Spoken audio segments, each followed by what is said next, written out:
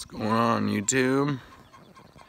Just wanted to show y'all my hugelkultur pots and my cantaloupes. Uh, I'm doing a pretty good job of collecting pollinators with these with these tubs. Here we have some chocolate cherry tomatoes. We got some purple tomatillos. We have um,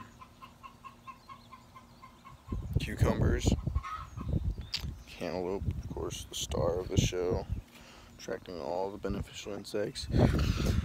We got the mycorrhizal fungi, the peas, coming to the end of their life, on the way out. We got the uh, marigolds for pollinators. We got a wildflower, and we got the purple Cherokee tomatoes just going all out. We got two individual seeds started. But yeah, all it is in the bottom of here is just bark and wood, just wood chips. And as you can see, it's all broken down. Can't even tell. I mean, if you look closely, you can tell that it was wood.